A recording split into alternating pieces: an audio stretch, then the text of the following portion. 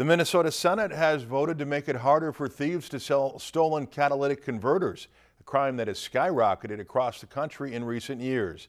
The bill would prohibit scrap metal dealers from purchasing a converter that is not attached to a vehicle unless it bears identifying markings that can be used to trace it, such as the VIN number. Dealers would have to enter the information into an electronic database to help law enforcement trace the parts. Prosecutors wouldn't have to prove that a converter was stolen.